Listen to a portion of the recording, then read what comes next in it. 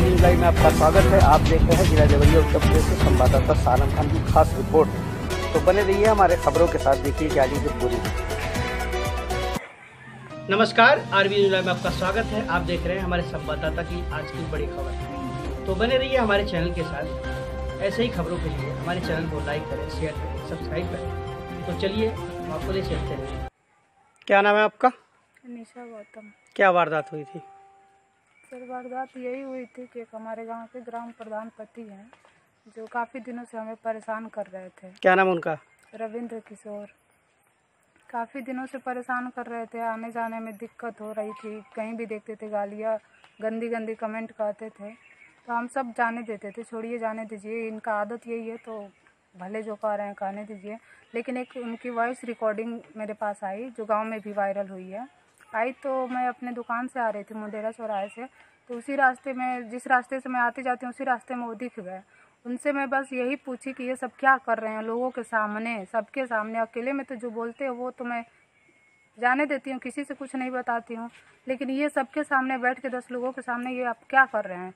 ग्राम प्रधान पति आपको ऐसा नहीं किसी लड़की के बारे में बोलना चाहिए। तो कहें कि तुम चीज़ें ऐसी हो कि किसी का भी मिजाज घूम जाएगा, ये हो जाएगा।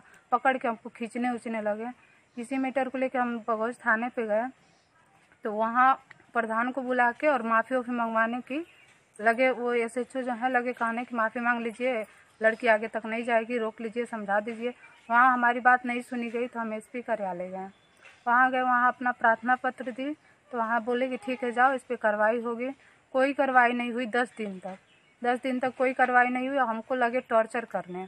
करने और उनके जो पक्ष में है, सब फ़ोन करके धमकी देने की सुलह कर लो, नहीं तो पछताओगी।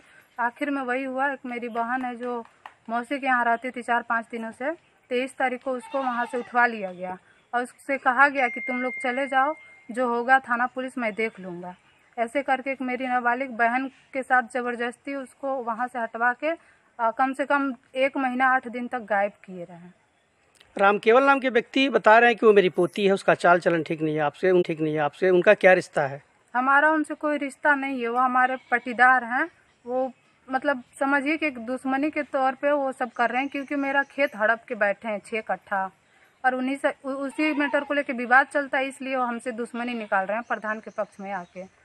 कि वो चाह रहे हैं कि हमारा खेत ना दे बस यही मैटर उनसे हमारा कोई पुराना दुश्मनी नहीं आपने प्रशासन को अवगत कराया है? है। जी कराया है। प्रशासन इस पे क्या एक्शन ले रही है? कोई एक्शन नहीं ले रही है सब उन्हीं के पक्ष में है। तो आप हमारे चैनल के माध्यम से क्या चाहती यही चाहते हैं कि वो जो बयान दिलवा रहे हैं जो कर रहे हैं वो सब झूठ है जो हमारे साथ हरकत किए हैं वो सच है।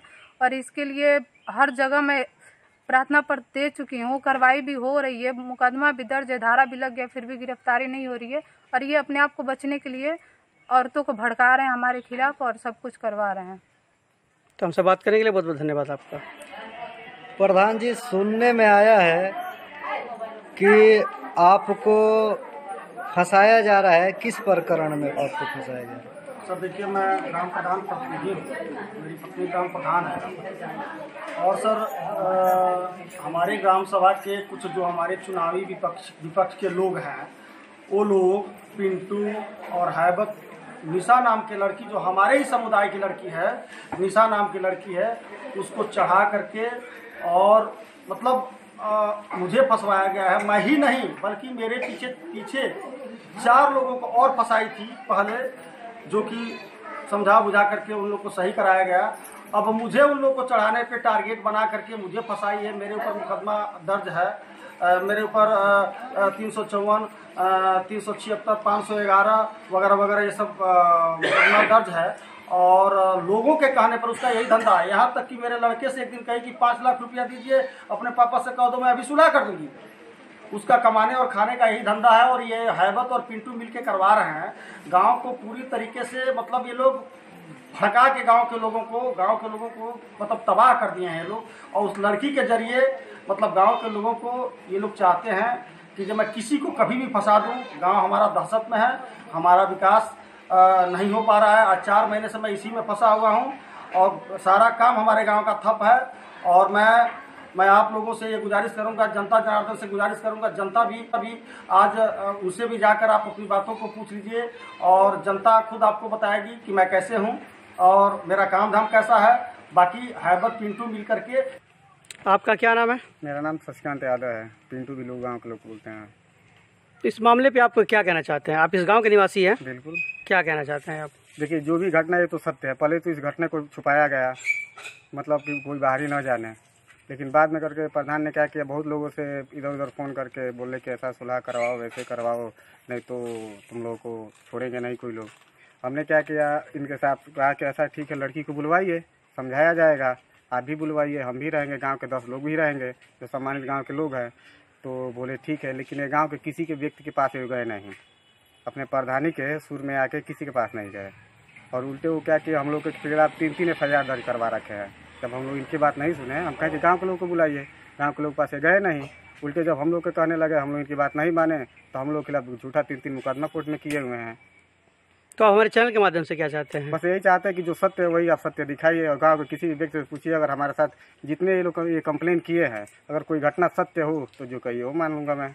उससे बात करने के लिए बहुत बहुत धन्यवाद आपका। क्या नाम आपका? हैरत अली तो क्या मामला हुआ था, कुछ बताएँगे आप?